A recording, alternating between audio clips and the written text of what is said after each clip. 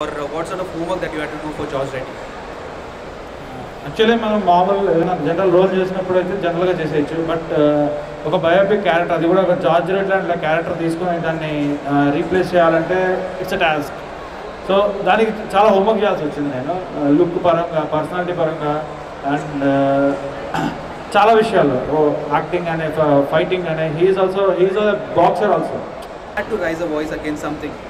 Me paranga gani, what you have to uh, say about what is the issue that you want to raise your, raise your voice as? ఇక్కడ చాలా మందికి uh, voice raise చేయాలనే ఉంది. ప్రతి ఒక్క సమస్య ఉంది. అందరికీ సమస్యలు ఉంటాయి కానీ ఎవరు వాయిస్ రేజ్ చేయడానికి భయపడుతుంటాం అలా భయపడకుండా ఒక పది మందితో చేయించారు ఎవరైనా? చేయించలేదు ఇప్పుడు మనం. అంటే మనమే రేజ్ చేయం. ఇప్పుడు వాయిస్ ఎందుకంటే ఎందుకు వచ్చిందిలే మనకి? మన పని మనం చూసుకుంటూ వెళ్ళిపోదాం. కానీ జార్జ్ రెడ్డి మాత్రం ఇది కరెక్ట్ కాదు. మనం మాట్లాడటమే కాకుండా మనం క్వశ్చన్ చేయడమే కాకుండా మనతో పాటు ఒక పది మంది క్వశ్చన్ చేసినప్పుడే ఏదైనా ప్రాబ్లం ఉంటే అది సాల్వ్ అవుతుంది.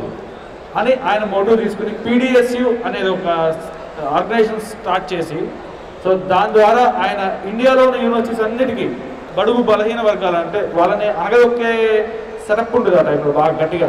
సో దాన్ని ఎదిరించి పోరాడు ఈవెన్ ఈజ్ రెడ్డి ఈ బడుగు బలహీన వర్గాల కోసం చాలా బాగా పోరాడు అంటే స్టూడెంట్స్కి ఉన్న సమస్యలన్నీ చాలా ఉంటాయి. స్కాలర్షిప్ రాకపోవడం కానీ మీరు ట్రైలర్లో చూసి ఉంటాడు.